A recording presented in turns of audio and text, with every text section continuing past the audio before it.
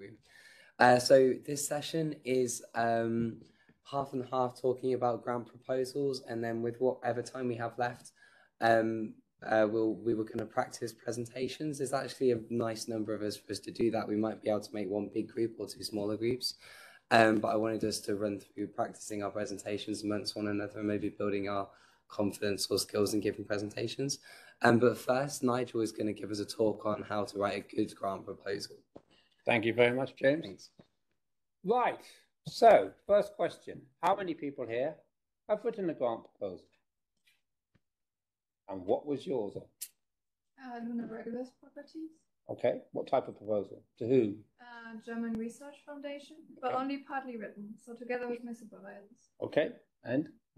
Uh, it was a short proposal to get a grant to go abroad uh, from a university. It was about it was a, a small side Good. project. Okay, and who here is anticipating or thinking about maybe staying in academia, applying for positions in academia? Nearly everybody, right? Mm. Which means you are going to have to write grant proposals. Okay, many of them. Okay. So what I'm going to do in the next 20 minutes, and then there's time for questions and everything else, is talk to you a little bit about the guidelines of writing uh, grant proposals. I don't know, I've said more than 100, I probably maybe more than 200, I don't know, and 500 peer reviews, maybe more than that. So, yes, you get to do a lot of them in your career. Oops, wrong one. Just going forward. Did that one. Yes. Okay. So the first thing about grant proposals is it doesn't it it doesn't really scale with size. The rules for writing a good grant proposal can be the same for a thousand euros or writing one of the super big EU project proposals at 10 million. At your stage, if you haven't written them or you're in early stage, the the the start small, okay? But above all, start. So there are opportunities for you to write small grant proposals. For example, you could have written and applied for time on TAs in the Europlanet. You could have written, or maybe you have and not thought about it. You have may apply for bursaries to go to conferences.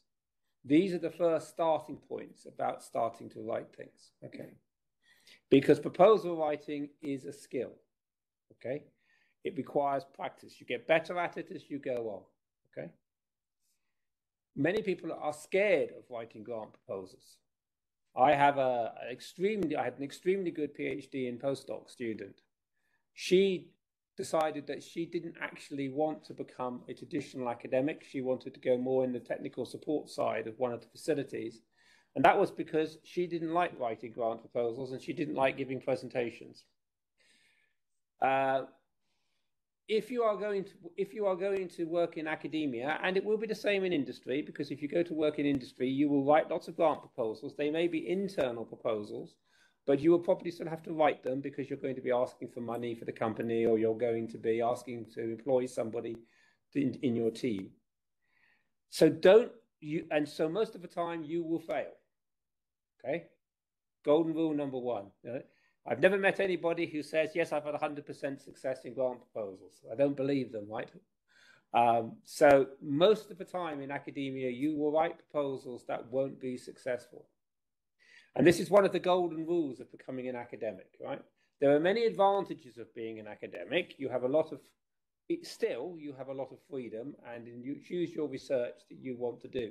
Your research becomes personal. But that kind of means that when you are successful, often it might be a team success, but particularly if you're setting up a group, it will be a personal success, which is great. But it also means when you fail, it seems like a personal failure, right? It, it, you can't work in this area if you if you are afraid of failure because you will fail, and you have to have a strategy for coping with a disappointment. Okay, you're not allowed to go home, kick the cat, back up the flat, etc. You might feel like it, but you can't. Okay. The, sa- the next key point is nobody, anybody writing a grant proposal, nobody is expert. You always want to have somebody else who helps you write the proposal. So one of the things you may have talked about this week, if you're going to do any type of career, but particularly in the academic sector, but also in the industrial sector, find mentors. Now, a mentor is a very important person, and you need them at all stages in life. I still have mentors. When I became head of department, I had a different type of mentor when I had one when I was an academic, younger academic. You need mentors. But mentors are not friends. It is not the job of a mentor to read your proposal and say, that's good. Because they're doing no benefit to you whatsoever. You want somebody like me who will rip it to shreds. Okay? In a friendly way and a constructive way, but has to tell you that ain't that's not you haven't got the message over, etc. And when I send things out, and when we write things like the Europlanet proposal, we write it as a team, and then we have people who, who read it critically. Now, we have people within the team who read it critically, but we also have people outside who we have friends, if you like, to say, are we getting the message over? So if you're going to write a grant proposal, particularly if you're applying for a fellowship or you're doing, you know, even maybe applying for a job, for a lectureship, get somebody who can be your mentor and develop that. And we do have mentors in the Europlanet Society. The other key thing about grant proposals is you actually have to follow the rules. Many people think that they can use one grant proposal and then give it to four or five, write, use the same one at four or five different uh, agencies. No, because the rules of the agencies are different. You have to bear in mind what the objectives of the agency are, and they will be different from each one. Okay, it's the same as when you write your CV. Personalize it, right? I was giving one of these talks about how to write CVs at one of the training schools, and it was a classic example. The night before, I had received from somebody uh, a CV saying, you know, dear esteemed professor, you know, I really want to come and work in your group. I'm really excited about the work that you're doing, and um, you know, please would you consider me for a postgrad? That was great. Until five minutes later, I got the same email addressed to another professor who I know with exactly the same because he'd forgotten to change the email. So he sent me the one to the other professor. So he's obviously sending it out to lots of other people. And if you are applying for a job, you, you have to tailor your experience for the job. A generic CV doesn't work. My wife used to do this. And her boss used to say, right, I've got 200 applications for this job. I want 40 on my desk tomorrow. You get rid of 160 of them. And her job was just a crap 160. Okay. So you have to tailor things. You have to bear in mind who you're writing to. And the other golden rule, and we'll come on to this later on, is all grant proposals are reviewed. And you've got to think about the person who is reviewing it. Okay? Because if you hack off the person who's reviewing it, you won't get it right? On Sunday, I got here on Saturday and Sunday. I was doing some for my colleagues at work and got a very good person. He'd written a very good proposal, but he was annoying me in his proposal because I was on page three, still trying to find out what the damn story was, right? Now, most reviewers are highly busy academics who are trying to do other things, right? When do reviewers, as you see in a minute, when do we do the reviewing, right? We do it anywhere. We do it at conferences. We do it on planes to conferences. We do it on Sunday afternoons when a daughter wants to do something else and your wife wants to take you out to see somebody else. If you have to think about the reviewer, the reviewer needs to get a simple message. If the reviewer has to work to try and understand what your grant proposal is about, they're not going to give you a good mark. So this is the real politique. Okay. So why are proposals important and why should be doing them? Well, in academia or in industry, they empower you to do your own research. It is not, if you go into industry, particularly as most of you will have got PhDs or you've got postdoc experience, you will go in at a managerial level. That means they're expecting you to run a team. If you're working in a company, if they're in the industry session, then that you will have to ask your company for the resources to build your team. They don't just give it to you. You've got to write a proposal and say, right, I've got this the company has given me this contract to, to do something. Um, I am now in charge of finding the team. I've now got to go back to the to the, by my line manager and say, actually, I need another engineer. I need somebody else. So you're always going to have to write these proposals to do your research, whether it's in an industry or whether it's personal academic research. The reason for writing proposals is it proves that you've got good ideas you have to communicate those ideas to the other people to enable you to support your work. Okay. So there are a few proposals that, that, that there's very few places now where you just get given money and said, "Oh, we've appointed you as an academic. You know, here's hundred thousand a year for getting on with it." That used to be the case 60 years ago. Now everything you have to write proposals for. So you've got to write a proposal to show it your ideas, to communicate those ideas to the people who are going to give you the money to support your work. But as I say, the roadblocks. The first one is fear of failure. If I don't try, I can't fail. Um, so you've got to flip that around. You, you, you, you, if you don't try, you know, if you don't buy the lottery ticket, you can't win the lottery. Okay.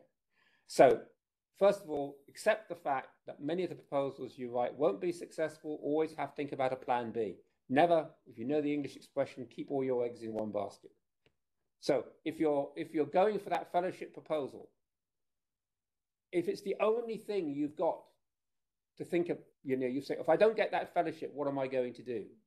If you don't get it, it's going to hit you twice as hard as everything else. You put all your eggs in that basket. You think, well, you know, oh, you know, my, my partner's here. If I don't get this fellowship, I can't stay in this country. You know, it's all going to be a disaster. You know, you've got to always have a plan B, okay? Because because you're more likely to fail than you are succeed. So you've got to think about what the alternative plan is. You've got to have several plans at the same time. What's the best predictor of success in writing the grant proposals? That's what you've got to ask that. What, how can you maximize the chance of being successful? Funding success rates are often less than 20%. So as I say, most of the time you're going to fail. Your job is to put the odds on your favor. In writing a good proposal, you're beating the other guy, right? It's competitive, right? Mm-hmm. You've got to do better than the other person. That's that's the only thing, okay? So you can have a brilliant idea, you still got to show it's better than the other person. That's where the competition comes in. And that's why often proposals, if you go for pure safety, people will say, oh, that's good, that's fine, that's, you know, it's good, more stuff, but it's just more of the same. Um, and so most funding that you go for will always be wanting to show why you're at the cutting edge, why you're doing something new. And particularly if you're writing fellowship proposals, why you? And we'll come to that in a moment. So, as I say, the advice start small. Even now, submit at least one proposal a year. Apply for travel grants, apply for bursaries. Because when you come to write, say you write a fellowship proposal or you go for interview, they will ask you, give us an example of something you've done independent of your supervisor or whatever. You know, what did you do? If you said, "Oh yeah, I put forward, I had this TA, I, I had this idea to do a project, and it involved me using some facilities somewhere so I applied for a Europlanet TA and I got it," or a travel grant. Um, I, I, I, thought, you know, my research should be useful, but I, I met this person at the conference, and then I realized there was some funding to go and visit them, and so I came up with this idea for a project to go and visit them, and now we're we're working together. Those are the small scale proposals. There may only be one or two pages, but they start to make you think about it. And it looks good on your CV when you're young because we're actually showing us that you had some independence. Okay.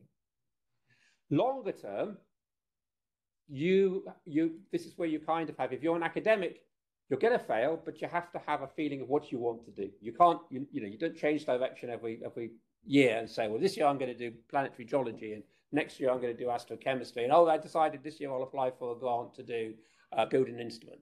You've got to think about who you are and the vision you've got, particularly if you're building a career. So if you don't know where you're going, you'll end up nowhere. So it's really important to start to think about what you're trying to do. And that's why you need your mentors, because the mentors are there to help you on that journey. So traditionally, you do your PhD. You do your, at the end of your PhD, most people will move from that institution. If you have done your undergraduate degree and your PhD at the same institute, you will start to be categorized, right? You know, and it's never good to stay at the place where you did your all your degree because the professors will still, even when you are an independent person, they will still see you as the 19 year old or 20 year old student, and they will probably remind you of it. I had a colleague at UCL who every year, even when I was I've been promoted to, to basically one below a professor, at the exam board every year would start off by reminding everybody that in my final year nuclear physics exam, I crossed out the right answer and wrote the wrong answer. And he would tell it to everybody on the exam board every year, this story. Oh, yeah, when Nigel was a student. Right. Thank you very much. um, so you do need to, to, to move. Okay, and, and so you do your first degree, and maybe you do your PhD in the institute, and then at some stage you do your first postdoc. When you go onto that postdoc stage, you may still be working for somebody because most of the time you are probably employed on somebody else's grant. But at that stage, you've got to start to be your independent person. If you want to continue in the in the in the in the in the field, you have got you're going to have to start to show that you are not the left or right hand of whatever supervisor you're working for. Okay.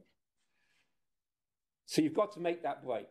And that means you've got to start writing your own little proposals and so on. And hopefully, and I think most of the time, because we have kind of moved away from the Herr Professor system. Uh, I do remember work when I was a postgrad going to a German group, and literally, uh, the German professor, he was like, you know, kind of like we could see him basically leading a panzer brigade. And literally, the students would have to click their heels and salute when he came in in the morning. Now, I hope that you're probably not in that environment anymore. Um, so professors and so on today do understand where you're trying to be. And if you are a postdoc, you should be talking to them about the next step. And the next step means you've got to, to, to, to do your independence. So they would expect you and hopefully support you in writing proposals. Okay. Once you've decided what type of proposal to write, it might be a Marie Curie proposal, it might be a national Food proposal, get copies of people who have been successful, right? Because the best examples are people who have been successful, okay? So, and they exist. And indeed, most institutions have copies of these, and indeed, they're expected to pass them around. So, as ac young ac academics, when they become their lecturers or etc., you put them through a training course and you do exactly this and you show them examples and so on of successful proposals. Even now, if we, we've written some training networks recently, we weren't successful. We've had years of being successful. The last two weren't successful. And we're thinking, why? So we've we've tried to contact people who in the last two rounds who have been successful and try and see what they've put in the proposal that we hadn't. So always get examples. The next thing is if you are writing a proposal, don't leave it too late. Because everybody leaves it too late. All right? And particularly if it's your first proposals, it takes more time than than somebody like me. But even, you know, academics are, are notoriously bad at, at, leaving things to the last minute deadlines. Uh, my wife used to say working with academics was like herding cats. Uh, and she's right. So we, you know, we, we have deadlines, so we cheat. We have all these members of Europlanet, and we never tell them the right deadline. We never tell them the deadline that, we, that we're working to.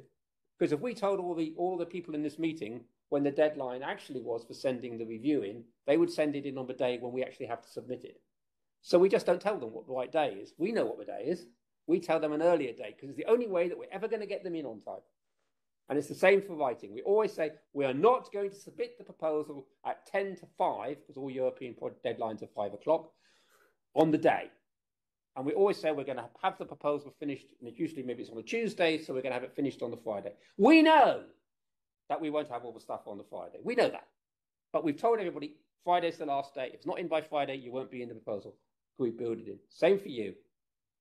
Make sure you've got a, a gap between the, the final deadline and, and when you think you have the finished proposal, because there, it will always overrun. And if you want people to read it and so on. So don't leave it too late. You have to plan it. And if you're writing a, a fellowship proposal, like a Marie Curie proposal, you should be starting three months before the deadline, minimum to start writing that proposal and getting all the stuff together for fellowship. ERC, perhaps even six months before. Mm-hmm. It's a long period of time to do it. Now, it will be reviewed. So usually you should assume that the reviewer is a generalist in your field who knows a little bit about your particular topic, but is not an expert. Okay? Now, if you do get an expert, that's fine. But for much of the proposal, when you go to a panel, right, normally what happens in a panel is there'll be a spokesperson. Okay, so one of the panel will have to speak on your proposal. Now, generally, that might be somebody who's a bit bit more expert. So they'll look down on the panel and they'll say, right, we've got a, we've got this this space science panel or this physics panel. Okay, so if you're on a physics panel and they say, yeah, you're, you're the astronomer, you, you do you do everything, right? So I say, great. I've just got one on, on gauge theory and cosmology. Yeah, brilliant. I know absolutely nothing about that. but I am I probably know more about it than the person over there who is doing uh, cell cell manipulation. But you aren't just in a panel. You've not only got to get the vote of the person who's speaking on your proposal, you've got to get the vote of all the other people on the room. And that means that they will look at your proposal, and if they don't understand your proposal and get an idea of why it's exciting right at the beginning, they won't vote for it. So always think about when you write about it is to convince the person who's doing the refereeing that this idea is worthwhile. Why is it now? Why is your project? How does it fit into the bigger picture? So you, you write the challenge. You say how you're going to address that challenge. And you also have to say why you. We'll come to that in a moment. So the formatting is very important, right? So remember, again, right, it's Sunday. Sunday's a good day for doing referees. It's normally when I do most of my refereeing on a Sunday afternoon, uh, in between most recently trying to get my daughter to revise for her exams. So I'm sitting down to read these, these six or eight proposals on a Sunday afternoon. Uh, I do not want to open up a piece of text that is incredibly crowded with, a, with dense text and full of acronyms that I don't know what they mean, and tiny text that I need to get a magnifying glass out to read, or I have to go onto my computer and sort of put it up to plus 200 you know, so I can read it. None of that. Think how you would like to look at. It, it looks attractive. Use diagrams. Diagrams are brilliant because I can have that picture in my mind of what you're trying to do. If your diagram tells me the story, if you're doing star formation or something, show me a nice picture and so on. If you're doing something in astrobiology and it's something to do with some weird exobiology thing, show me a picture. Something that I can get, and because that's that, I will have that. We all like pictures, so friendly formatting. Usually there's a template and they give you the order of the sections requested, right? Don't be clever and try and change the sections, right? I'm scoring these proposals, right? And you normally have to write a mark for each section, right? And if I find somebody who's suddenly reversed section three and four, it throws me. And I could put the marks in the wrong box. I do not want to think, right?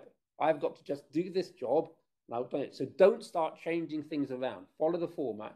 And usually there's a good reason for doing it. They, they put them in order for a reason, for what they want, and one follows on from the other. So do that. You can use different fonts to highlight important points. I'll say fonts rather than color because sometimes people still you know, don't always use, if they print them out, they don't always print them out in color. Okay. Now, most people today review online. Okay. And indeed, some of the forms are only online these days. But in the old days, people would print them out. It doesn't mean that they'll print them out in color. Okay. But you can use different fonts. You can use italic and you can use bold and you can underline. But the point is to make a point. If every second line is in bold, italic, or something else, you've made you, you've lost the impact. It's just those key points that you want to highlight. One of the things I always do, which sounds a bit mad, but it does actually work, is I read my proposal aloud. Okay, because you you'll find the bits that you want to emphasize when you do that. You know, that bit, okay, my voice has gone inflected there. That's the point I want to make important. Okay. Usually at the beginning, you're going to have to state the hypothesis or the goal. Okay. And you then what you're going to do in your proposal is say, this is what I want to do. This is my idea. This is my hypothesis I want to test or the goal that I want to do. You then have to produce concrete results. What is the, what are you going to do in these in this two, three, four years? Okay. So you've got to anticipate the results of your hypothesis. What are you going to do? And then how do you know you've, you've achieved them? How do, how, do you, how do you know that you've set out to do something? How do you know you've been successful? Okay, that's, that's the story of a good story. Make sure you address all the criteria. Okay, so every these things they'll say, do this, do that. Read all the points because each of those criteria will probably have a score. And if it isn't there, you get a zero. So make sure you read it carefully to assess all the criteria that you're doing. Right. So read the rules that most have. So let's talk about the first one, thematic and areas of priority, right? Link to them, but don't lie, okay? Don't say that your, your research is, is, is actually relevant to something when it really isn't and you're trying to push the thing. You know, everybody tries to do that you know, oh yeah, yeah, I need to say something about climate change. Um, star formation, climate change? Uh, no. right? You might think you're being very clever in finding some kind of clever link, but normally it doesn't hold up. So these are the things that you normally have, the quality and the science. That's the first part, and, and, and usually you that will be the bit you're happy to write. Okay, you you you know the science you want to do, but you've got to put it in context. You've got to say why your science is the really important science. Okay, there are hundreds of proposals. Most of those proposals are really good. I mean, you know, you get very few really awful proposals these days. So most of the science is perfectly worthwhile. You've got to go beyond that. You have got to persuade the reviewer that your science is the most exciting science to do now and that you're the person to do it. Now, there's a gender imbalance in this room. Okay? Women do not sell themselves well. Women are normally shyer than men in coming forward. And this goes throughout the entire career. When I took over my head of school in my recent one, we had no women had been uh, got in the in the higher grades. And I looked at their CVs and I said, why, why, why aren't why haven't you put in a promotion case? Oh well, you know, I don't really think I'm quite ready for it yet. Women love to of talk themselves down more than there's some, and there and that goes for some um, ethnicities. You don't normally have a problem getting an American to speak up and say they're brilliant. Right? Americans are very good. They're trained to do it, right? The British are a bit more reserved, right? And it's wording. If you're applying for a fellowship, you don't write we. Because it's personal, you write I. I've done this. I've done that. Now, women don't like doing that in general. And many nation states don't like doing it. So, so Brits don't tend to usually say me. They like to say the team. Indians usually are always about the team. Chinese are usually about the team. But you're applying for an independent fellowship. It's you. Uh, you've got to be prepared to say, I did this, I did that. And most people don't like doing that. However, what you will find is that generally women write uh, can I say more uh, critic, more self-critiqued proposals. They tend to be more self-critical. Guys tend to be a bit more, ah, we'll blag it through, guys, right? You know, women tend to be more self-critical. That means that often you will find that your proposals, women's proposals, are they're almost they're, they sometimes read as if they're trying to convince themselves as well as trying to convince you. Okay, they're being quite self-critical. So you've got to get out of that mindset because you've got to be you've got to be confident in what you do. And I say I'm not saying that aren't that, that men don't have self criticism. Of course, there are men who equally are are self critical and so on. But you do find this. Okay, so get over that because actually, you know, we are getting we, we, the world has changed. I know we've got the diversity committee and everything else, but it's very different from 20, 30 years ago. And in space science, you know, I used to, I show a picture in one of my courses of the Cassini-Huygens team, which was about 150 people at ESA when it was first being launched. There is only one woman in that picture, and she was the secretary. Right? Now, what do we have now? We have Ewine van Dishoeck. We have uh, um, Giovanna Tinetti running Ariel. We have Heike Rauer running Plato you know, these missions are now being run by top women scientists. So, so we have made a huge amount of differences now in that. So be confident about what you are. You have to be confident. You have to learn that confidence. I don't know if you have it in Europe, but we have something in the UK. It's called the imposter syndrome, where people don't think that they really should be there, right? Imagine that you're in a, a, a sports team, right? And and you are the player in the team who doesn't think you should be on the pitch, you are you're not that team is going to suffer from that, right? Know, but they wouldn't have put you on the pitch if they didn't think that you could do a job. Nobody's going to put somebody forward or put something forward if they don't think you're going to succeed. So if your institute says, you know, I really think you know you should be putting in for a Marie Curie and or ERC, they're not doing it to be kind. They're doing it because they actually do think that you're capable of doing it. You've just got to think that you're capable of doing it. Okay? So, bit of positive mindset. You need that to write the science. Okay? So, So you've written the science, you've understood the project that you want to do, which is passionate for you, but then you've got to put it in the importance to the field. Okay, so you've got to, and this is where you might need the mentor. As you get older and you get more experienced, you might understand where you fit in the field. But maybe at your stage, you won't quite know how your project fits in. You know, my study of exoplanetary atmospheres, how does that fit into the wider scale? So that's why you have your mentor and you have your advisor to do that, because that'll help you write that bit. But when you're at conferences and you're seeing things like that, references, really important.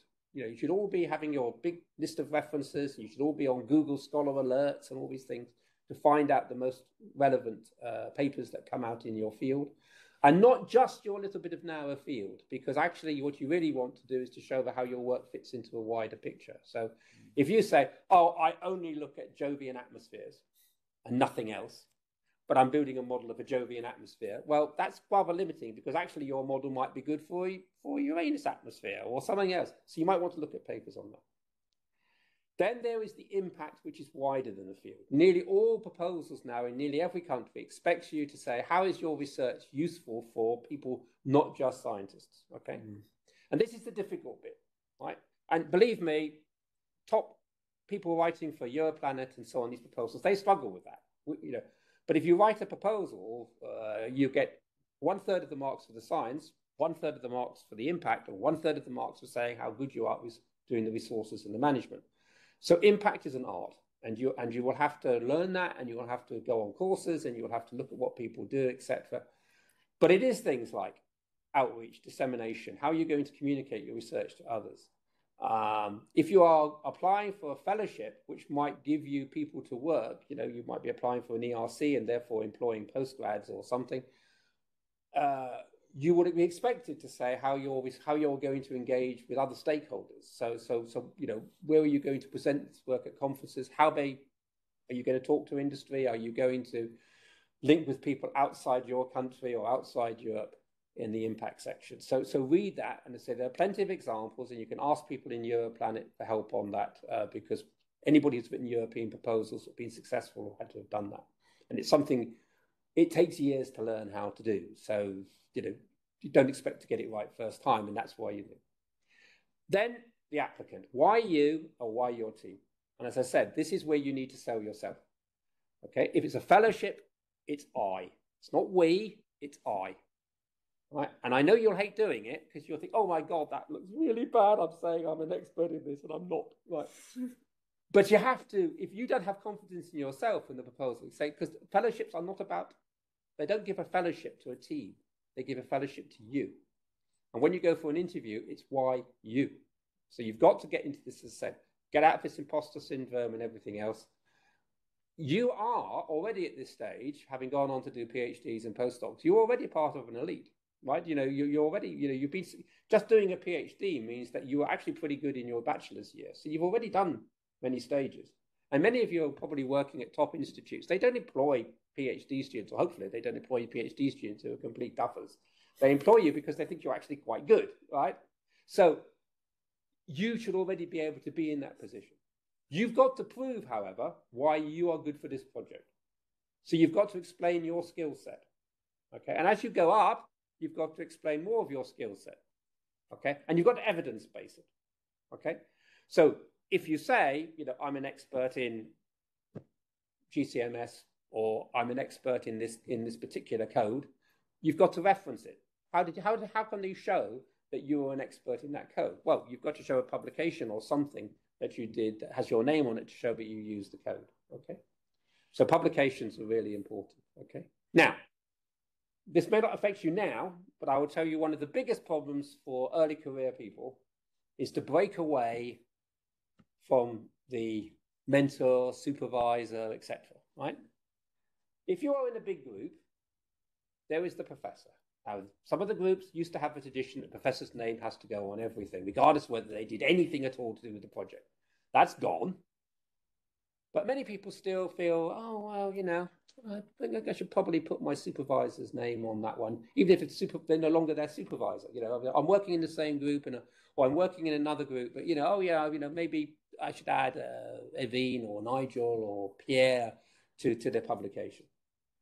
When you look at that as an independent referee and you're trying to say, is this person independent? And you see every single publication down there is still with their PhD supervisor, how can that person become independent? So at some stage, you're going to have to have that difficult conversation where you're going to have to say to your supervisor, I've written this paper, but I'm not putting your name on it. If they actually took a full role, of course.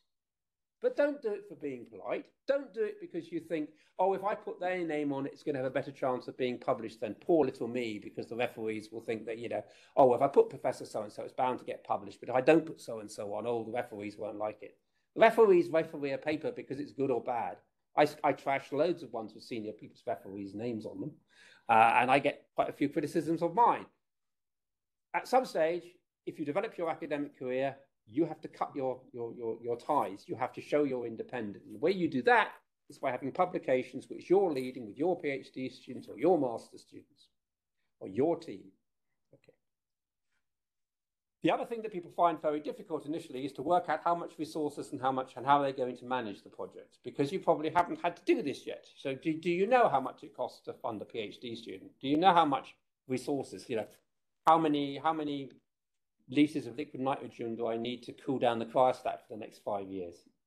You, you haven't had to do that because the other people in the group have done it, but now it's your turn to do it, okay? Now, if you are applying for some of these fellowships, you might be having half a million, a million, million and a half euros of taxpayers' money, right? Now, I suspect that nobody in this room has done a financial management course, right? It won't surprise you that most academics haven't done a financial management course, which is probably why most universities are in the mess they're in, because these people get promoted to be the managers and they haven't got any more clear eye than that. So they just go from not being able to manage a million to not being able to manage 200 million. Okay? That's why you have people, why in Europlanet, we have people like Sophia and Susmita. You, you think, people think, oh, you're the coordinator, you're in charge. I'm not in charge. You know, Susmita tells me the project management, Sophia tells me the budget, and Anita tells me what to do anyway, right? Has done for 15 years. So, but you're going to have to manage this. So you're going to have to start thinking about it. Because then you get your project, and if you haven't got the resources right, and you find after a year of your two-year project, you haven't got enough money to run your experiments, or you, you can't go on any conferences because you spent all the money, nobody's going to give you some more. So when you start writing these things, you need to think about it. That's why writing small proposals. You see, if you're if you just come to a conference and your group pays for your travel and your hotel, you don't really, do you really know how much it costs to come to a conference? No. But if you had to write a bid for a bursary, you would have to write down how much it is. Okay? So that's the, that's the simple stuff. Do you know how much it is? If you want to have a PhD student, do you know how much it costs? It's not just the money you got as a PhD student, because there are all the overheads and everything else that the university takes. You need to know that because you're now applying for the bid and you'll be in charge of this, okay? And then how about managing a project? Okay. Now, you're going to manage your own project, which means you're going to have to do time management. Okay? Now, another thing, academics are really bad at time management, right? You know, it literally is, and you see this. I sometimes wonder how anything ever gets into space. If you deal with a big sea, you think, you know, and, and there are national characteristics as well, and there's there's there's different ways of working in different countries. But you're going to have to manage this project, okay? So you're going to have to manage your time to make sure you get the deliverables. So if you set ridiculous, if you set yourself targets that you can't meet, it's your, it's your fault, okay? You've got to be realistic.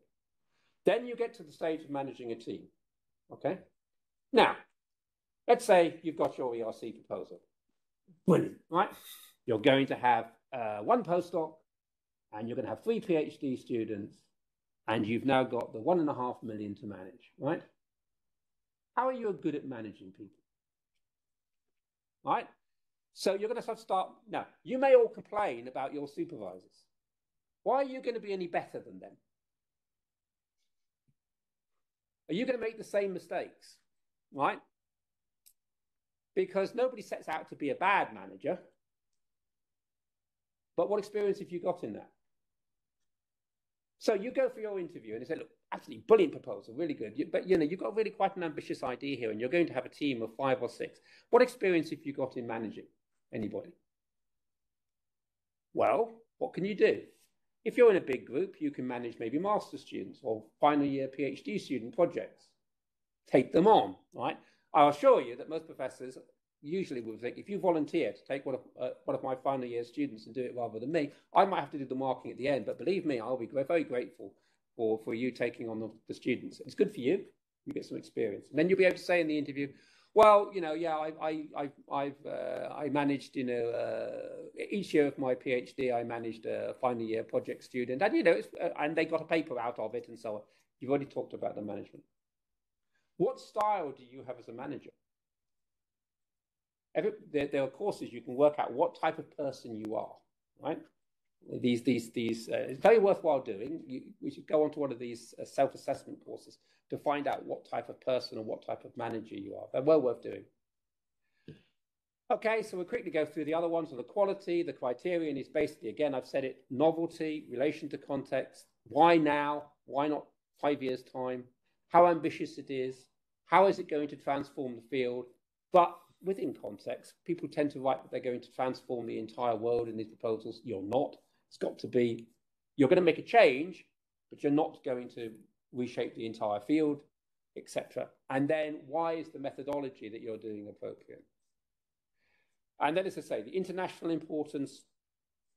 If it's a national proposal, you've got to write to what's required nationally. It's an EU proposal, what's required EU.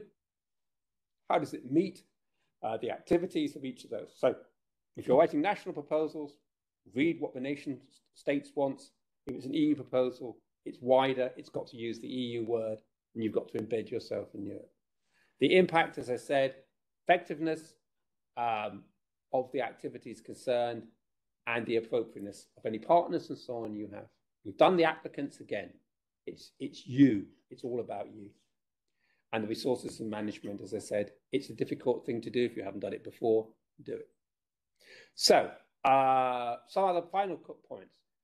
As you get on, you will find that larger proposals are more likely to be successful than individual proposals because there are fewer of them and there's a bigger chance of success if they're written properly. So at some stage, you will want to be involved in a large proposal. You do not volunteer to run a 10 million proposal from standing start. You start somewhere else in the proposal read up. So you're going to be working with co-Is uh, and partners. You've got to choose those.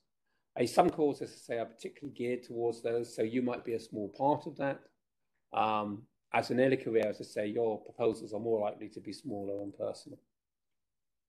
Early career researchers, reviewers do know that you are young and inexperienced. We're not sadists. You know, we don't we don't sit there with the idea of massacring you. So we know that, that there, and often for fellowships, it's not only what you do, we're looking for the potential. We're looking to, to, to, to see that you could be a longer term career person. For fellowships, normally somebody once said it, I'm looking to see if this is a person I want to work with for the next 10 years. I want a colleague. I'm looking at somebody who's going to transfer from being a, a, a, a postdoc to being my colleague. Okay, so I'm looking for that potential of somebody who I want to work with for the next 10 or 15 years. Uh, again, their skills, give examples. We've talked about leadership and uh, being on committees. You can join EPEC committees. That's good for a CV. Arranging research visit. If you know the COST program, the COST has the short-term scientific missions lasting up to a month. If there's one in your area, there's one recently just been announced in, uh, in, in, star formation and planetary uh, disks, for example. You will get, you can apply to go to another lab for two to four weeks. We've had the Europlanet 10A. Uh, have a vision, but normally early careers are too optimistic. It's not a bad thing to be optimistic, but if you're really going to tell me that you're going to solve all the problems of cosmology in the next three years with one PhD student, you're not. And normally, as I'm doing on Sunday, it was trying to say, you know, you've got seven objectives in four years, all of which are massive, and you've got one PhD student and two postdocs. It's not going to work. And that's why you need the mentors. Common failings, too much jargon. You, you, you, you, you're on top of it and you know all the acronyms and everything else. I don't. Okay. So they become very jargon, very detailed, but they don't give me the big picture. Make sure you acknowledge other people's work. Make sure you do a proper literature review. If, as a referee, I see my papers being cited, I like it. If I know I've written a key paper in that field and you don't cite it, I don't like it. So make sure you do the literature review. Give yourself enough time to write the proposal. We can read, we can tell when a proposal's been rushed. Usually, people are far too ambitious in the time scale and they don't have the resources. You cannot do it all. You don't want to be too conservative and too, but you don't want to say that you can change the world. We once had an American student came for an interview in a fellowship panel, and she started off by telling us that basically she was that the paradigm that she was addressing was the, the community was wrong and she was right. The panel did not say a word to each other, but we were all annoyed. We gave her the worst questioning because she just annoyed us. She's telling us that we don't know what we're doing, and she does. No. So don't be too ambitious, but do it. Okay. In conclusion, it's it's your life. It doesn't matter whether you're in academia or industry, you do it, you will fail. What do you do when you fail? Right? You need a support network when you fail because you will, and you need to sort of pick yourself up and have another go. So get your support network. And finally, you can do as many guidelines as you like. Sometimes you, a bit of luck helps, and sometimes your proposal will be in the right place at the right time, and sometimes it will be in the good proposal at the wrong time because there might be some really other experts who have really put some really good proposals in that round and you just slip below the cutoff because there are just so few more better than yours that time. And last year it would have been funded, and this year it won't be. So you've got to go again, and that's why you need your plan B. Never try to have a situation where your entire life relies on that one project, right? You know, my life is at an end because I didn't get this proposal is not a good mental health problem. Awesome. Questions? Probably much longer than I thought. I didn't want to speed you up because this was all released. So And- questions? Can I just kick off the questions with one quick one? You mentioned right at the beginning it's important to have a strategy to deal with failure so you don't kick your cat or destroy your kitchen. What's your strategy? When my early days, I would say one thing was to have a very patient partner Uh-huh. because I do remember she she reminds me that one time when I said, "Oh, this is it, that's not, not getting anywhere. I'm just going to quit, going to teaching," and she said, "Stop it." She needs somebody to say, "Stop feeling sorry for yourself. Get in there and do it again." You need somebody just to say, "Oh, stop, stop whining." Okay. Right, you know. Um, you need to talk, talk to others who have been through the same thing because uh, everybody's been there, and it's always you think it's just you but you, you need to have other people say, yeah, I was there. And, and this is where you have the mentor, somebody who's been through that process, who's identified that process, somebody who, who who's like you, who might have come from a background and felt, I didn't really felt I fitted fit, fit in. And, you know, it took me a while and I got the imposter syndrome. We have a whole network of, of, of, of women in the UK who I've mentored. And then I've said, right, you've been successful. Now you want you to mentor the next generation of women because they all have the same problems. And they could say, well, yeah, I had exactly the same thing. You know, I felt, you know, I just felt in, in, I felt inadequate. And, you know, and I, how did I get over that? How did I get over the imposter syndrome? Or, you know, somebody else said, you know, I, I just, you know, I, I, I was trying to fit in when I was going to have a family and, you know, you know, what, how do you do that? Or what did you do with the two body problem? You know, you need those things. But most of all, you just really need somebody to, to vent on. Uh-huh. There's a great story of Harry Kroto, who won the Nobel Prize who, who came in, in those days, at the envelopes. He picked up the envelope, opened the envelope, and it's from the Research Council. It said, Dear Professor Kroto, we regret to inform you that despite your proposal being very highly ranked, and you know, unfortunately in this round there was insufficient funds and you know, to fund your proposal. So what does Harry do? He does what we used to do in those days. He goes down to have a tea in the tea room, and he comes in. He says, "Bloody hell!" He said, "You know, this is ridiculous. I've just invented this new material, and I haven't got the damn grant. He's having a complete rant, you know." And his secretary comes down and says, oh, "There's a phone call from Sweden."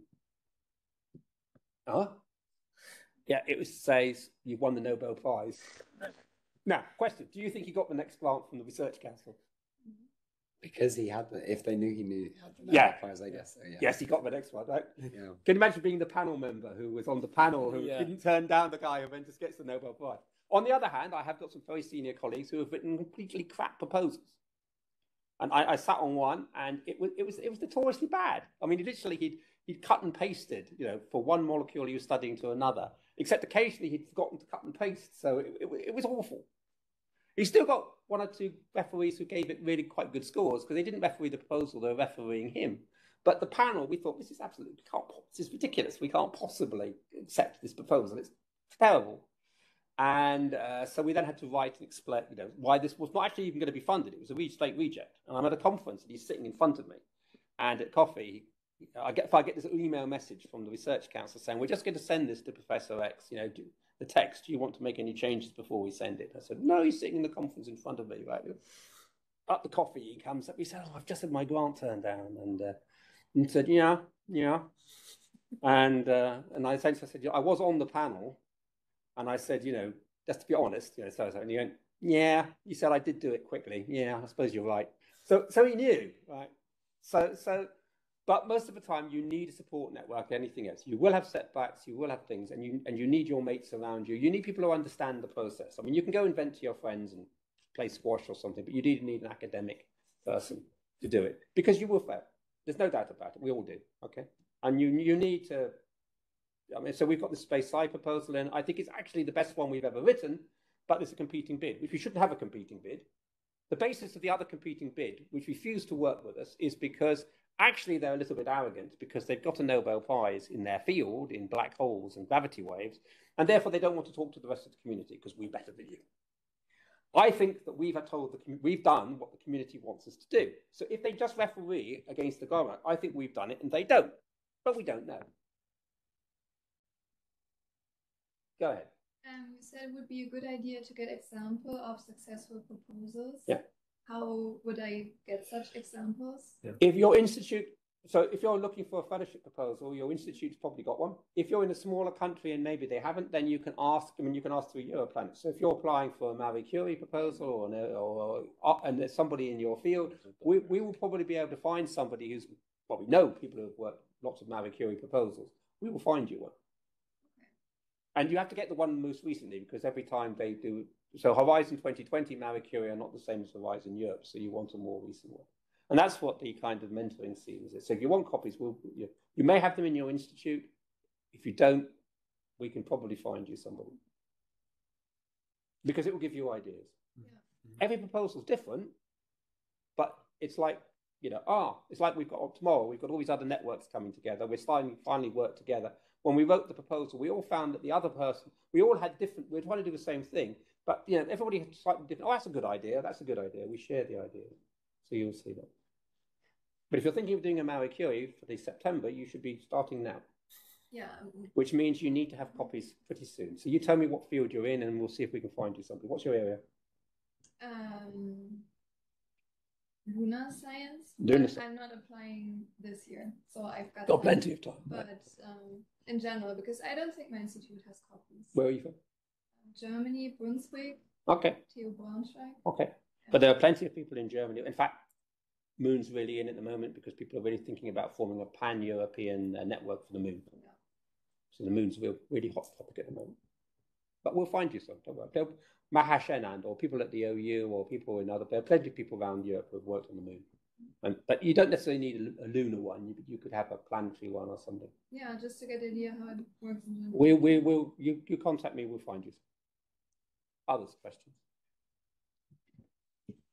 Okay, there's a question online, Nigel. Yep. So I'll just read that out. Um, and you might have to say it again because I'm far from the microphone. Are there any agencies or funds that are easier to write proposals for than others? Are there any agencies or something where it's easier to get uh, money from than others? Not really. Uh, everything is competitive now because there are so many people applying for awards. Um,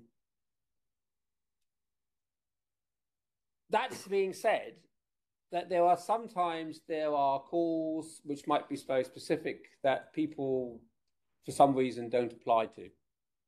So you can be lucky and find that there's a this is one of the things we try to do in Europlanet. The big proposals and the big funders are very competitive, but some of the smaller ones, which might have niche, they might have some very in things that they just particularly want to fund. People don't know about them, so they don't apply for them.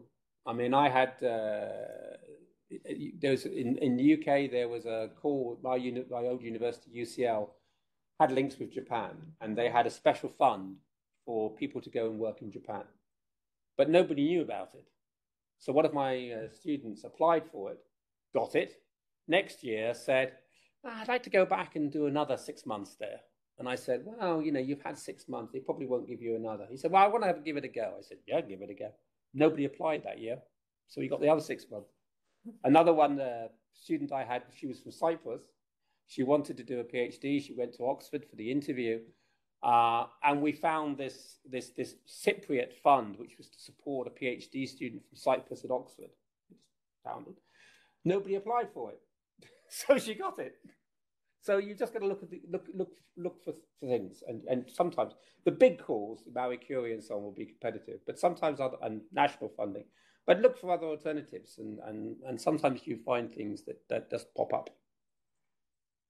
But it's always usually it's always competitive. You, any other? I think we have another question Okay. online.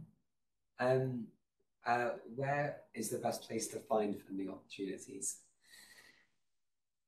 Ah, So that was where is the best place? Where to the best find place to funding find funding opportunities? Um, there are uh, magazines. There's something called uh, Research Europe, Research Fortnight, uh, which uh, lists proposals from around.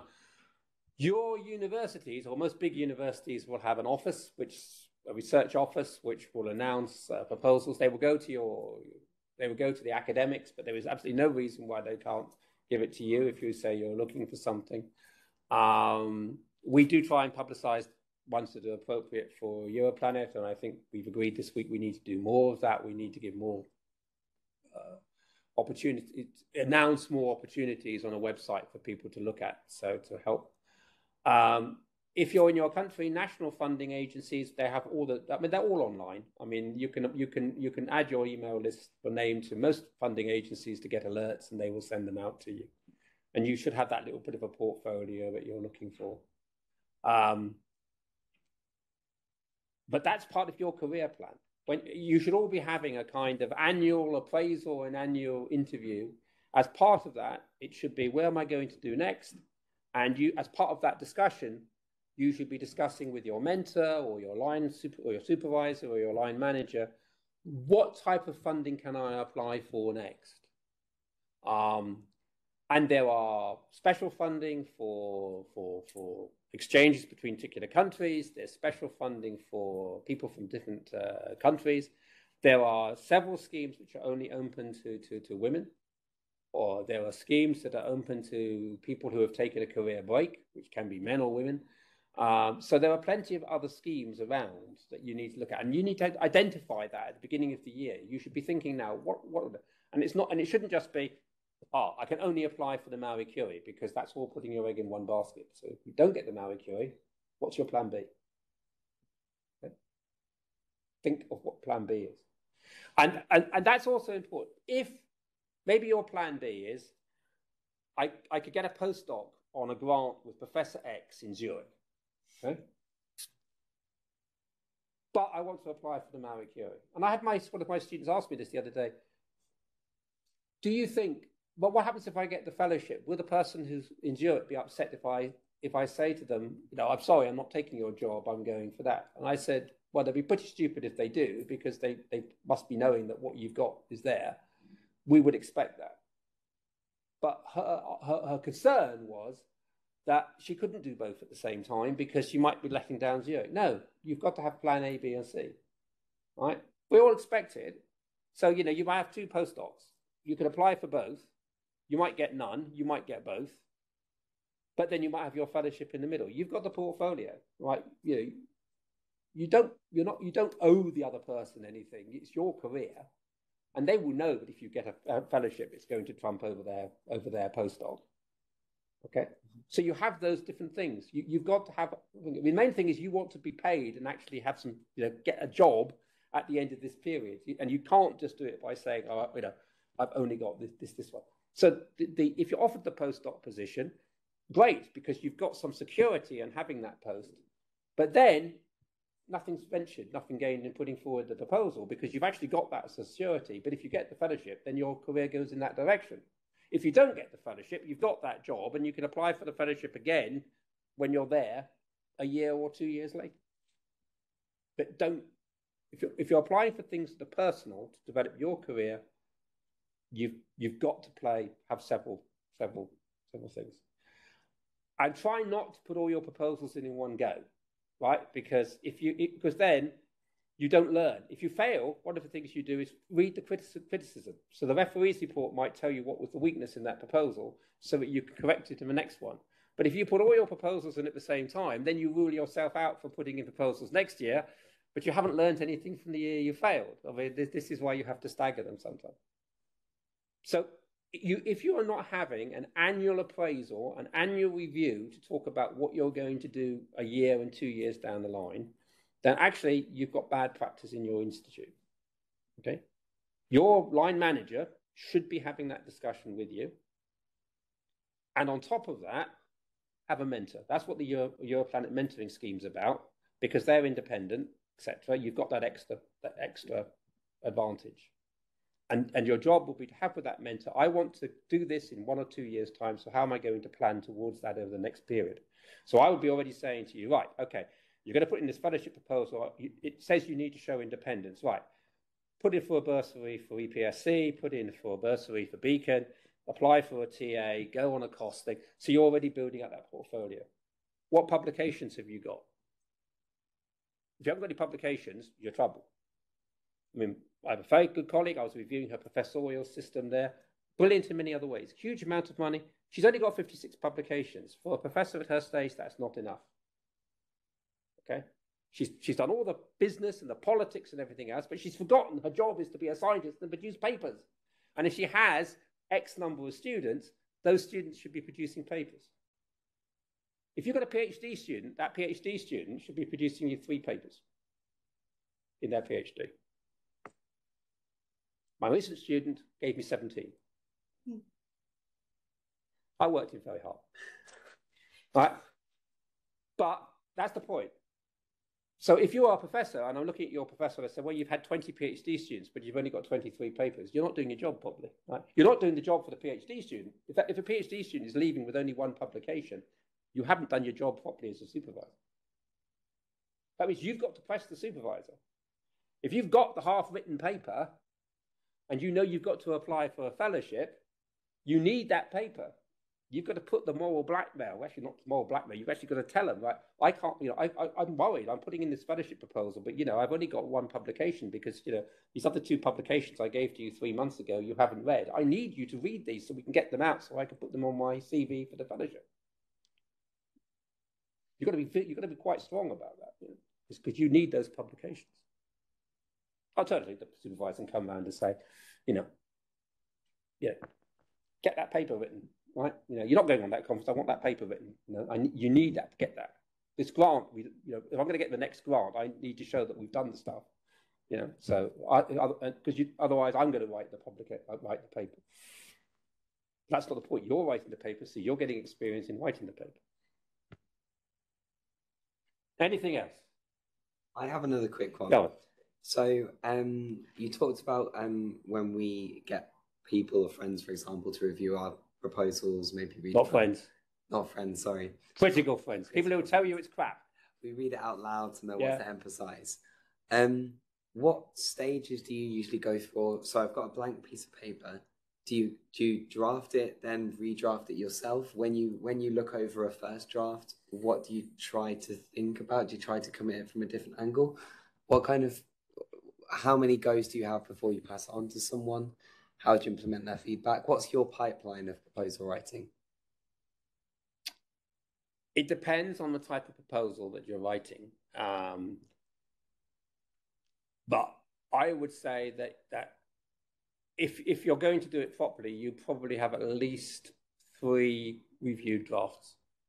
Okay. You've got the so the first one is to tell you uh, have if, if if it's your first time writing a proposal, the first draft is, is, is to see whether you're on the right lines. The job of the person advising you is to really say, you know, have you got the right? Is the title right? Is the abstract right? Is your idea any use whatsoever? Right. So you have that kind of critical stuff. Then you produce the first draft of what you think is the case. You know, I've written the stuff, and that, that, that's where you want the person to come in and say, "Don't understand. Yeah, I know your area of research, James, But from this, I wouldn't have a clue what you're talking about. You know, it's got to be that harsh critical analysis. Uh, you get the red the red pen out, you know, etc. Um, then you give all that feedback, you go away and rewrite it again, and then you come back with what you think with with, with, with text, and that will be better than the first one. It might then be finished, but probably not. Will probably be another round of tidying and everything else. And then you will correct that section and you will send it back. And then normally it's going to be, yeah, you didn't quite get what I wanted you to do in that paragraph, that paragraph. So three or four times, I would say.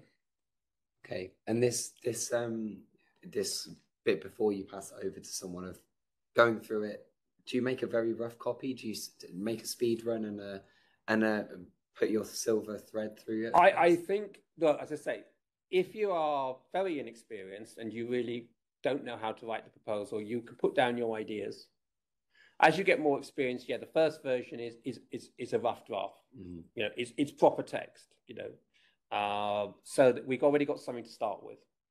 But it might be if the first time you're doing it, you just want to get down the ideas, and you're just find it might be that you're you've come up with a title, you've come up with an idea, you write the idea, you write the methodology because you're probably better at that. You've got to, you're, you're more on top of it, so you kind of know that you you want to develop it from the code that you've done, and you write that bit. But the key thing is what are the final object what are the objectives and what are the results going to be because that's that's the first thing the title the idea what the objective is and what you're going to produce simultaneously what resources do you need because if you haven't done resources before and you've got to get the university to cost cost things let's say that the, the, the financial limit is 100000 have you any idea that you've put down i want a postdoc i want uh, buy the software license i want to buy these consumables and the, if, if you, you, you won't know whether that comes to 150,000. what? So, so if you haven't done this before, you have to do that first stage as well, parallel. Okay. Okay. But the first draft should be a draft. So as I say, what's the title? What are you trying to do? What's the methodology? What are the um, what are the outcomes? Then you start to fill in the other bits, the the background and everything else. But that's the first bit I would always pass on to somebody. And then the second full draft would be complete. It would have the uh, the background. It would have those references, so that I could point out and said, um, "Yeah, you haven't mentioned the you know talking about exoplanets, but you haven't mentioned either of the ESA missions, and you're applying to an ESA grant. Mm, probably not a good idea." Point out things like that. Then you get what you think is your perfect draft, right? And then you send it. I mean, we write ours. We we we write our Europlanet proposals, right? all the scientists write the planet proposals. Then it goes to Anita, right? She's the, the crafts person, right? She's the journalist. She can actually write English, right? Unlike the rest of us, right? And she'll look at it and she'll say, this is, you know, it's, it's brilliant if you understand, uh, if you're an IT specialist and a geek, right? Nobody else is going to understand a word that you've written, right? Uh, yeah, so she will then tell you how you need to rewrite it and restructure it, which is why we get better and better proposals at that stage. So, so, so I would say that generally, probably at your stage, probably four drafts, Okay. and that's why you have to start now to get to September. Four drafts is a lot. It's a big commitment from the person on the other side as well. I was gonna I was gonna mention that actually. Leaning on people to to help you for this is obviously quite a big ask because I imagine it's quite time consuming to get Yeah. proper constructive feedback. Are there uh, like people in on a similar level in their career? People hire? Is there a good way to approach? it's normally somebody like who's done it. You want to mentor somebody who's been through it. Uh-huh. There's nothing to stop you sharing proposals yourselves. I mean, you're going to practice. We probably haven't got time now because we've talked over it. But if you're going to do presentations, okay, um, it's great to pass it around between yourselves. I mean, we actually even had this at the university recently because none of our students had, had done uh, had, actually sat in-person exams this year, right? Mhm. So we gave them the option of having an in-person exam, but we said we're not going to mark it. You you you mark it yourselves as a group, okay? And we got them all in the room to, to mark each other's and talk about each other's and so on. Um, it didn't work terribly well because at least the final year students were very arrogant and thought they didn't need to do this practice. And then they went into final exams and they were crap. And I could tell that they'd run out of time because most of the second half of the questions weren't complete. And I knew that they knew the stuff because they just simply run out of time. So you can use your peer groups. you know, you must have done this as an undergraduate. You must have shared, you know, oh, maybe we read my my thesis, well, I'll practice my final year talk with you. It's exactly the same. But you need that extra experience from above. And most people would do it. I mean, you know, the, the, the, the art of academic academia is that you, you, you have to give, you know, you do feel, most people feel they do have to give back. I mean, you know, we're not, there, there are a few very selfish people, but not, not in general. The, and the planetary science community is not like that. The planetary science community works because we all have to collaborate. None of us are going to run a space mission on our own, you know. We all have to collaborate. So people know this. And this is the whole point, of, again, of Europlanet, the whole point of the you know, people volunteer. We haven't got a problem finding people to be mentors. You know, there are plenty of people who are prepared to mentor. Okay. I, I personally, you know, you, you kind of get to a stage where I get a lot of personal satisfaction from seeing that people that were my students and so on now be successful and get, get professorships.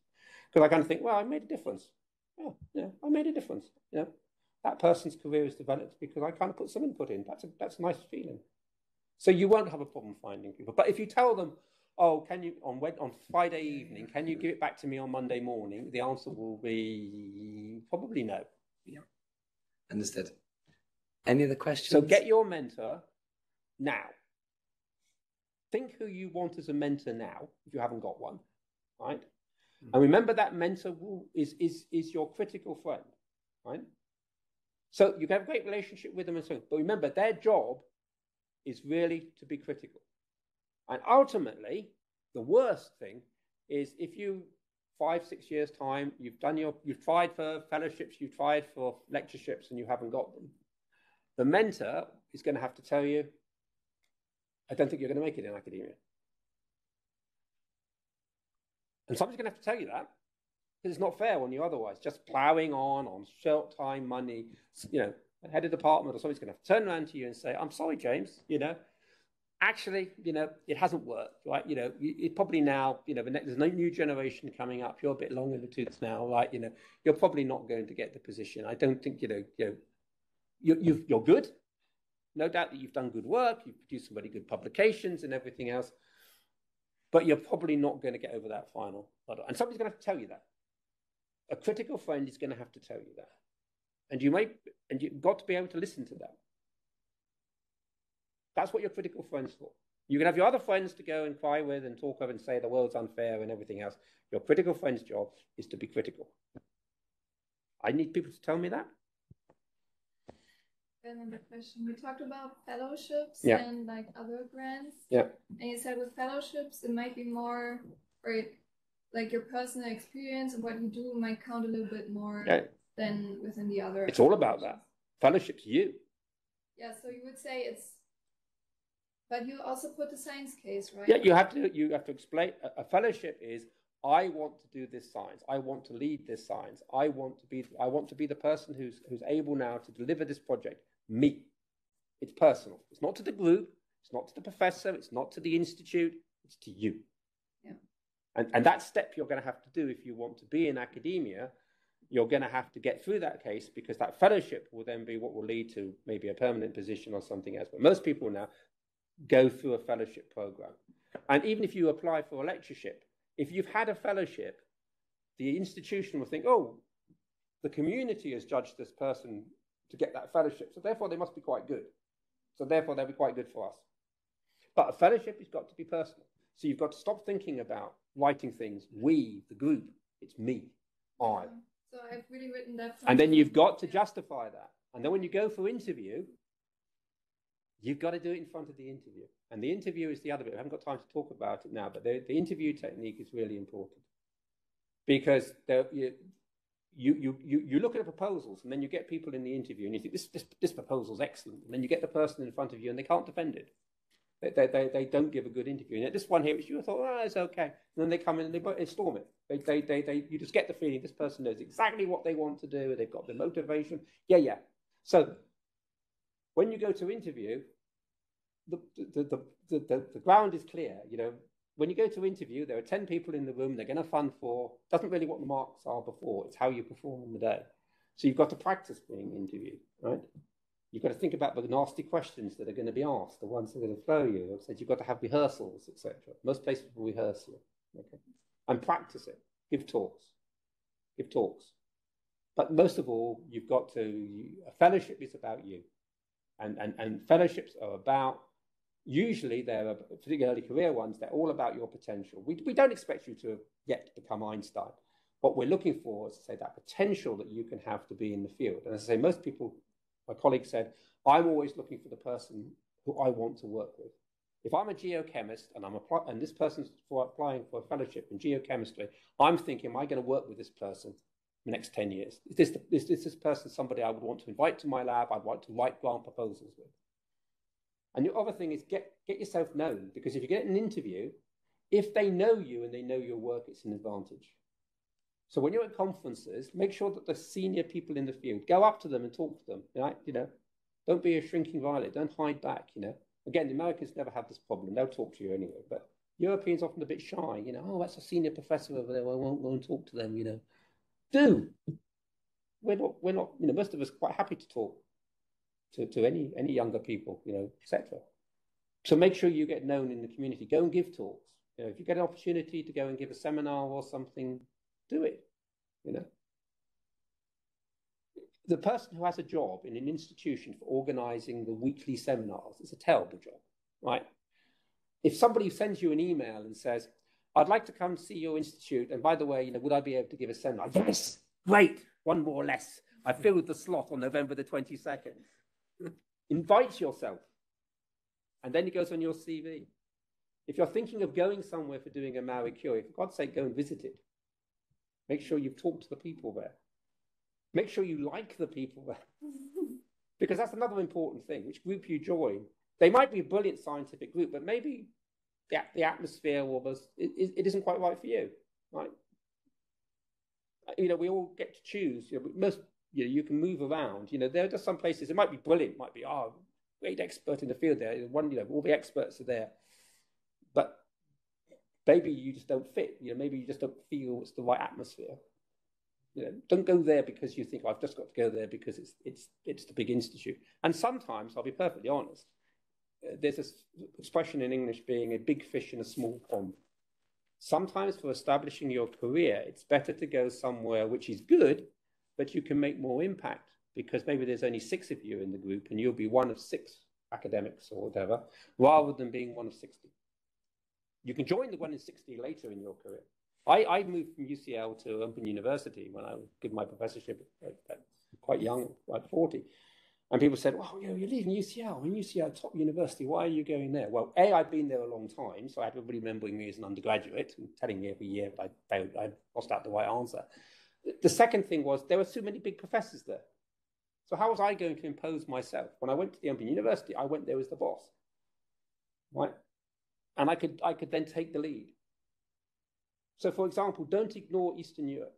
If you're applying for a Marie Curie fellowship, you get a second bite of the cherry. If you if you if you don't get 92% plus in the Marie Curie fellowship, but you are applying to a country in Central Eastern Europe or Portugal, there is a backup scheme funded for people who go to those countries. And there are many, many, many good groups in those countries. And if you are the Marie Curie person in that country, or you're the ERC person in that country, you're the star. You are the star then. You go to Oxford, right? They have kind of you never get a job in Oxford because they've got so many of these people from all over the world, right? They've got fellows coming out their ears, right? So they, they, they can't possibly support the war. But you go to a smaller university, then you're you are you're the oh wow we've got we've got a Marie Curie fellow, we've got an ERC. Wow, this is really big. You might end up talking to the prime minister. I did. but if you go to Oxford, you won't, because there'll be lots of you. Okay. So, so, so think on that. But also make sure that you're working in a place you like to work. Never, never forget that. You know, groups have different dynamics and characteristics and everything else, and some might be more. You know, think about where you'd be happy. You remember you, okay, you, you do have to work twenty four seven, but when you're, but you know, you've got to be somewhere you like as well. So, so yeah. And I say, don't forget places, as I say, you know, Eastern Europe and other places, smaller universities, they can be much more friendly. There, there's more of a kind of team spirit, you know, more of a dynamic because there are fewer of you, and you can all get together. You know, you can all go out. You know, if if the groups say a dozen or fifteen people, you can go out as a group meeting with a beer every Friday. You can't do that in Oxford or Cambridge. You know, Cambridge astronomy groups, what, 400 people? You So you go out as a subgroup, you probably never know those people over there. Oh, that, that floors the cosmologists. I never talk to cosmologists. But if you're in a smaller group, you get more ideas. So, so think about that as well. But, But finally, if you're passionate about it, I'll just say, go for it. You know, my hobby, I think, is history, and you know, it's all about when do people trying to change the world. young people are there to change the world, right? Before we all become conservative and worry about taxes and pensions and teenagers. If you are not enthusiastic about what you are doing now, when will you be? Right? So you are going, I mean, your retirement age for your generation is what? What going to be pushing 70, right? So if you stay in the area of space science, you have got many, many years ahead of you, right? Why not invest the next few years in enjoying the science you do and moving around and doing it? Because this is your opportunity, okay? You know, before you get tied down with other things in life and mortgages and families, which everything becomes a bit more complicated.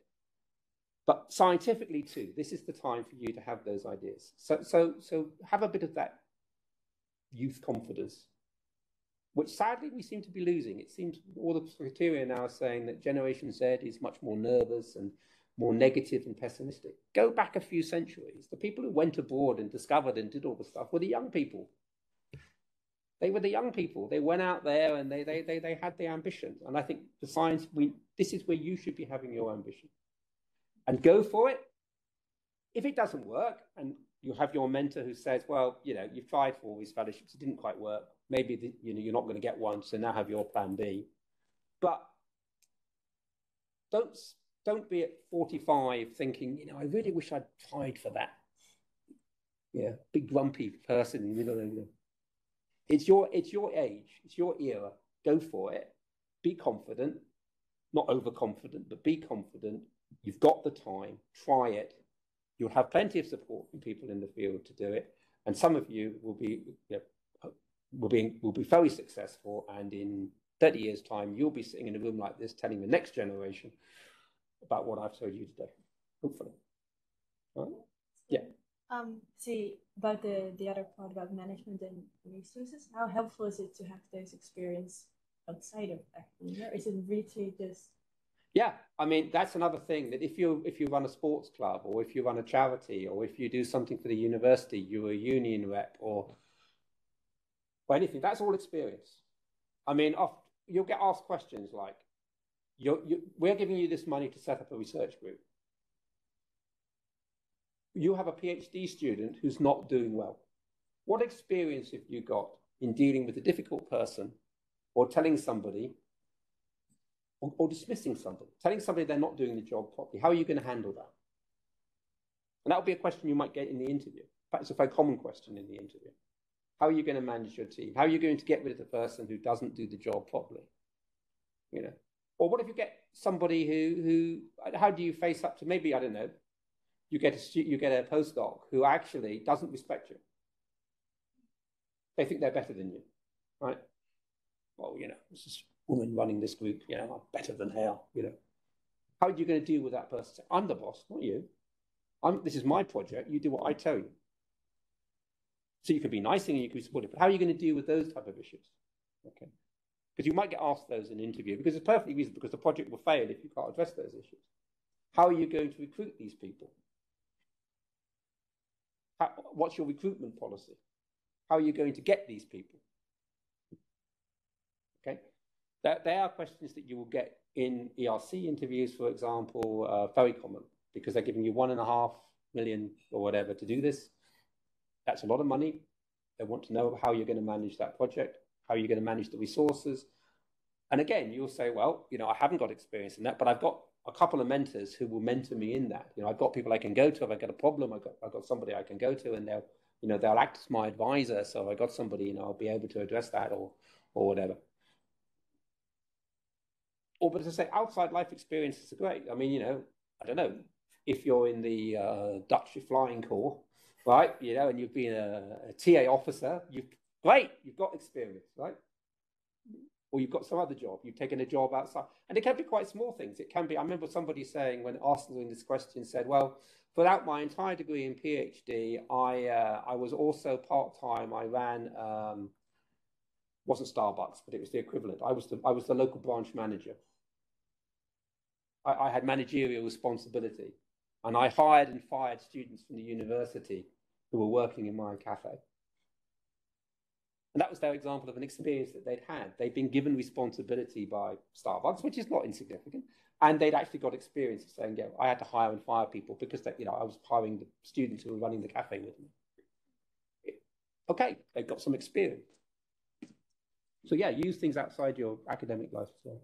If you've been a team leader, if you've been captain of a, I don't know, football or lacrosse or hockey team, that's experience. You had to select people for the team. You had to tell people they weren't playing in the team. Right? That's experience of being a manager, leader.